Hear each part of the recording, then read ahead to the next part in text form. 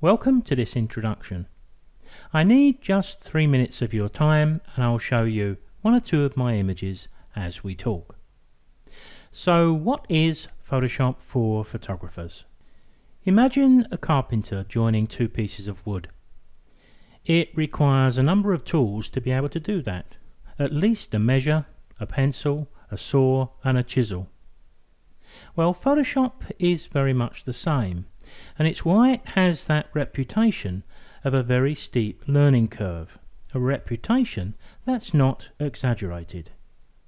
So to help, I've recorded around 60 HD videos and I've presented them in a logical learning order, easy and essential first. They're all available as a download, but they're designed to be viewed gradually because there's 18 hours of content here. Photoshop is a fantastic program I've been using for almost 25 years.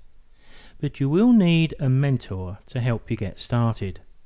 Someone who can guide you through this powerful program to prioritize what to learn and in what order and to guide you around those parts of Photoshop we don't actually need. These videos cover the majority of editing subjects you're ever likely to need. Just look at the list of videos and their descriptions from our website. The list of topics is far too numerous to list here. That's why I say just follow the video numbers because you decide how far into the course you go and at what pace. Not sure if this is just another wild internet offer? Promising, perhaps, that you'll become a Photoshop expert in two hours? Well, no, it's not that. If you're watching on YouTube, check the Show More below.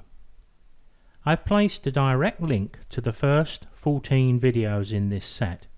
They're free for you to download and to evaluate. I've also placed a link to our PDF video list. If you're viewing this video elsewhere, come along to my website and look for Photoshop for photographers. The download link for these 14 free videos and also the video list will be easy to find.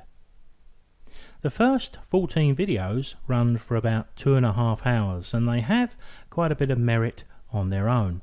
So you've really got nothing to lose in trying them.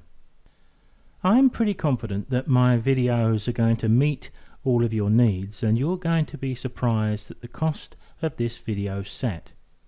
So take a look below if you're viewing on YouTube and to our website if you're not. Check out my galleries too.